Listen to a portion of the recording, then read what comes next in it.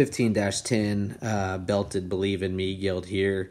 Uh, just one that has those absolute unique pieces. Um, when you look at one that just you know has has that amazing uh, unique look up front that you know neck like a giraffe but her skull is stout her bones are big um, this one's got those parts and pieces i mean she's got incredible look and design uh, her build is great but her density and her stoutness uh, is is the right kind for a big ring you know with the foot and bone to match um, she's correct in her angles. You watch her plant and drive as she goes. This one here is, uh, we think this one's very big time. Um, really, really excited about these these 15 litters.